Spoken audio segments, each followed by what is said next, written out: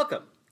We have our linear kinematics and our circular kinematics, and we just want to compile all of the connections between these in one table. So in linear kinematics, our definitions that we've started with is that our S is position,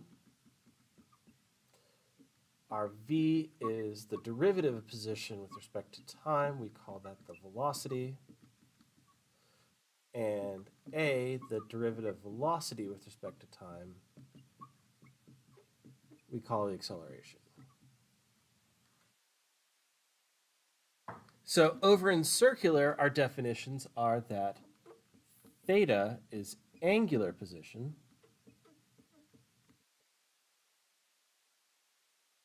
omega, which is d theta dt, is angular velocity, and alpha, which is d omega dt, is angular acceleration. So our connection between these is we can talk about our position along the tangential of the circular motion, the t, is equal to r times theta. This is our arc length equation. And then our other connections are that the velocity along the tangential direction is r omega, and the acceleration along the tangential direction is r alpha. So in our directions, we also can talk about i hat, which is the direction of increasing x, and j hat, which is the direction of increasing y. In circular motion, we instead define that r hat is the direction of increasing radius, and theta hat, or kind of our tangential hat, is increasing angle. We have a little bit of a hairy relationship between these, but our relationship is that r hat is equal to cosine theta i hat plus sine theta j hat, and we have that theta hat is negative sine theta i hat plus cosine theta j hat.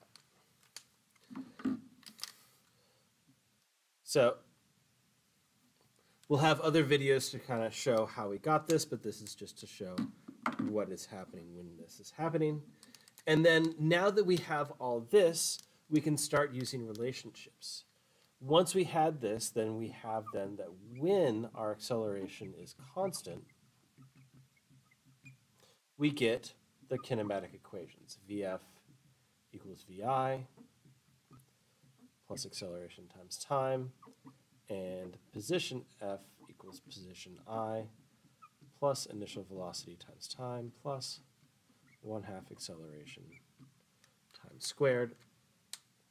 And over on the circular side, we have when our omega is constant, we get just a nice and easy omega is equal to 2 pi over t. Our connection between these two is our centripetal acceleration.